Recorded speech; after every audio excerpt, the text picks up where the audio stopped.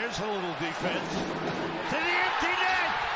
It's a hat trick for Alexis Lafrenière. His first in the NHL. The hats. You don't think there's Ranger fans at this oh, game? man. Look at the hats. Five point game. His first NHL hat trick.